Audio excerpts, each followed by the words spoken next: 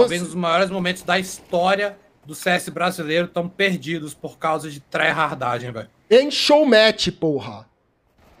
Porra, tu é bom? Vai lá fazer isso com o cara lá que a gente tá esperando há três anos tu fazer, porra. Calma, Gaules, ele não. só tem 25 anos. Ah, velho, não é? É uma brincadeira, velho.